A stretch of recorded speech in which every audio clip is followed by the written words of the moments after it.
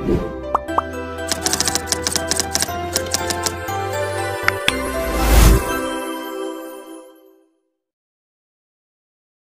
દોસ્તો welcome to ટ્રાન્ઝેટ academy તો ફ્રેન્ડ્સ આશા રાખું છું તમે બધા મજામાં છો, મસ્ત છો. તો જીપીએસસી એટલે ગુજરાત પબ્લિક સર્વિસ કમિશનની અંદર અત્યારે આપણા ઇલેક્ટ્રિકલ એન્જિનિયર માટે વેકન્સીઝ બહાર પડી છે. બરાબર ક્લાસ ટુ ઓફિસરની વન બાય વન આપણે જોતા જઈએ કે ભાઈ કઈ કઈ પોસ્ટ છે.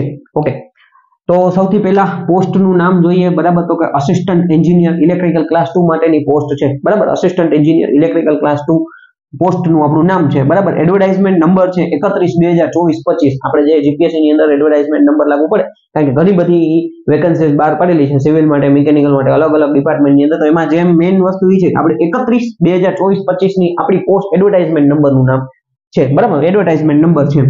ટોટલ વેકન્સીઝ તો કે છ વેકન્સીઝ છે, બરાબર? કેટેગરી વાઇઝ મેં અહીંયા નથી લખેલું, બાકી કેટેગરી વાઇઝ આપણે પીડીએફ છે એ આપણે વોટ્સઅપ ગ્રુપ ટેલિગ્રામ ગ્રુપની અંદર શેર કરી દીધી છે, બરાબર? તો ત્યાંથી તમે જોઈ શકો છો, બરાબર? એટલે ટોટલ છ વેકન્સીઝ છે, બરાબર? અને કેટેગરી વાઇઝ તમે જોતા જશો તો એ તમને પીડીએફની અંદર મળી જશે. ત્યાર પછી ક્વોલિફિકેશનની વાત કરીએ તો કે ભાઈ B B Tech electrical full time B B Tech electrical કરેલું હોવું જોઈએ. ડિપ્લોમા પછી ડિગ્રી કરેલું હોય તો પણ ચાલશે, એટલે કે ડી ટુ ડી કરેલું હોય તો પણ ચાલશે. ખાલી બાર સાયન્સ પછી પણ બી કરેલું હોય તો પણ ફોર્મ ભરી શકાશે. બરાબર? પે સ્કેલની વાત કરીએ તો કે ચુમ્માલીસ હજાર નવસો થી લઈને એક લાખ બેતાલીસ હજાર ચારસો. આ પે સ્કેલ છે, આ બેઝિક પે સ્કેલની વાત થાય છે, બરાબર? બેઝિક પે સ્કેલ હોય છે, ચુમ્માલીસ હજાર નવસો થી લઈને એક લાખ બેતાલીસ હજાર ચારસો. આ તમારો પે સ્કેલ છે.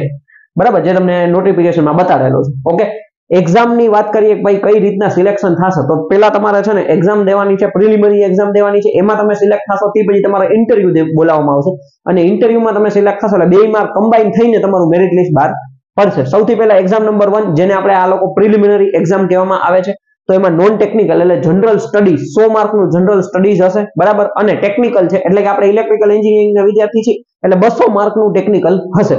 બરાબર? ટેકનિકલ બસો માર્કનું હશે નોન ટેકનિકલ સો માર્કનું હશે. ટોટલ છે ત્રણસો એમસીક્યુ ત્રણસો એમસીક્યુ ત્રણસો માર્કનું પેપર હોય છે. કોઈ પચીસ નેગેટિવ માર્કિંગ હોય છે, બરાબર?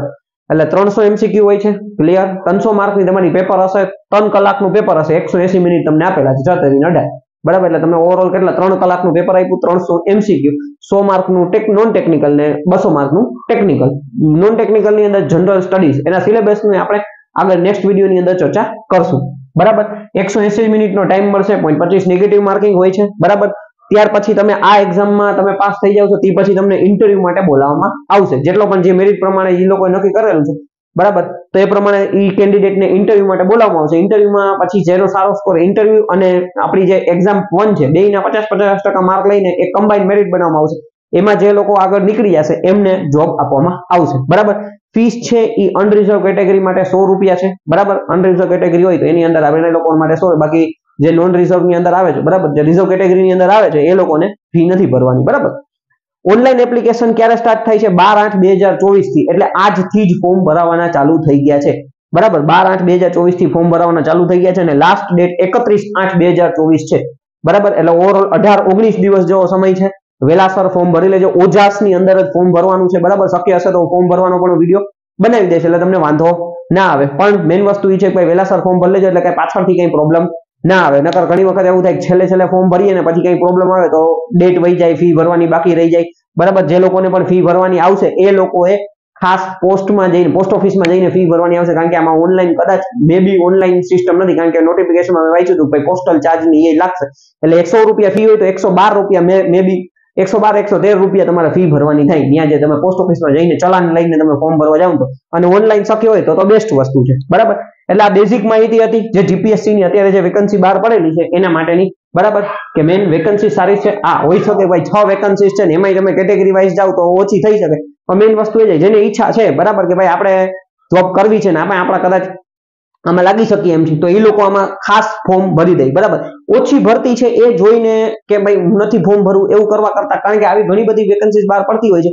ઘણા બધા લોકો ફોર્મ નથી ભરતા હોતા, બરાબર? કે ભાઈ આટલી ભરતીમાં આપણે શું ફોર્મ ભરવું? ઘણી વખત જે વિદ્યાર્થી આની અંદર જતા હોય છે, આની પહેલામાં તમે જો ભરતીની અંદર તો કે જીએમઆરસી ની ભરતી આવેલી આપણે પછી આપણે આઈએસએચઓ ની ભરતી આવેલી હતી, તો એમાં ઘણા બધા વિદ્યાર્થીઓ સિલેક્ટ થાય છે. બરાબર? કારણ કે મેઇન વસ્તુ એ છે કેન્ડિડેટ ઓછા હોય તો થોડું કોમ્પિટિશન ઓછું થઈ જાય. તો થોડુંક વધે તમે સારું પરફોર્મ કરીને આવો ને તો કદાચ વારો આવી શકે છે. આઈએસએચઓ ના ઇન્ટરવ્યુ હજી બાકી છે. બરાબર? પણ ઘણી બધી ભરતીઓના એવા ઉદાહરણો છે. બરાબર? જીએમડીસી છે. બરાબર? જીએમડીસી તો જીએમડીસી ની વેકન્સીસ આવી હતી જીપીએસસી ની અંદર. તો એની અંદર તો મેઇન વસ્તુ છે કે ઓલું જે ખાણ ખનીજનું જે સર્ટિફિકેટ હોવું જોઈએ, એ નહોતું. એટલે ઘણા બધા વિદ્યાર્થીઓને કોલ આવ્યા હતા ઇન્ટરવ્યુ માટે. પણ મેઇન વસ્તુ ડોક્યુમેન્ટ વેરિફિકેશન માટે. પણ મેઇન એમાં આપણે જે એનું સુપરવાઇઝરનું સર્ટિફિકેટ હોય છે, એ નથી હોતું. એને લીધે ઘણા લોકો એમાં રિજેક્ટ થઈ ગયા થઈ ગયા. જો કે ગુજરાતમાં કોઈ વિદ્યાર્થી માટે પાસે એવું સર્ટિફિકેટ નથી. એટલે એટલે છ વેકન્સીસ છે, બરાબર? એવું ન વિચારવું કે ભાઈ ઓછી આપણે ફોર્મ ભરીને મહેનત કરવાનું, આપણા નસીબમાં અસર લાગી જશે. બરાબર?